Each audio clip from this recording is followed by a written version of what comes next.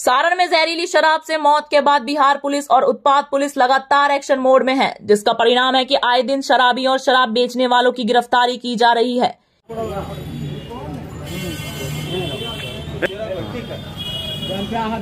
इसी कड़ी में एक बार फिर बेगूसराय उत्पाद पुलिस ने बड़ी कार्रवाई करते हुए एक साथ तेरह लोगों को शराब पीने और बेचने के मामले में गिरफ़्तार किया है।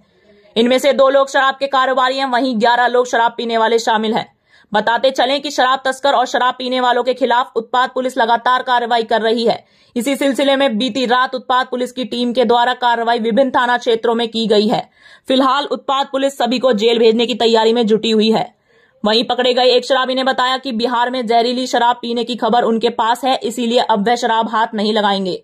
वहीं दूसरे शराबी ने बताया कि कार्रवाई तो शराब बेचने वाले पर की जानी चाहिए, शराब बिकता है तभी तो लोग पीते हैं।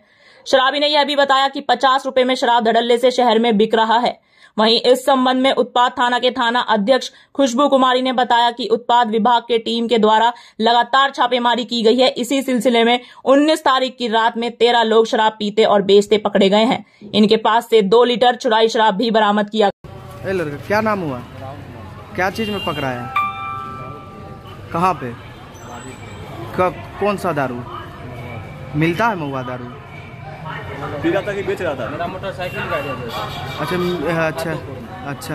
पी रहा था कि बेच रहा था? नहीं नहीं हम मतलब पी रहे थे। पी पी रहे- मतलब जा रहे।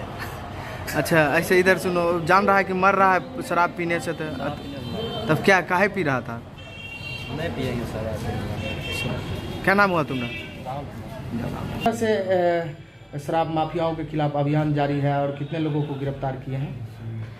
लगातार छापेमारी अभियान की जा रही है सघन जाँच की जा रही गुप्त सूचना के आधार पर भी और जो लोगों के द्वारा जो जानकारी दी जाती है थाना पे आके या फ़ोन पे उनके थ्रू भी जाकर के तुरंत सघन छापेमारी की जाती है।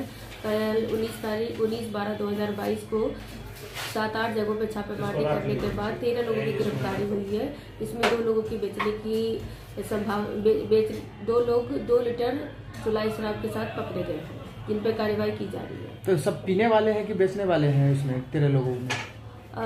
नौ लोग पीने वाले हैं बाकी बेचने वाले रोज रोज मत हम कहा देंगे अभी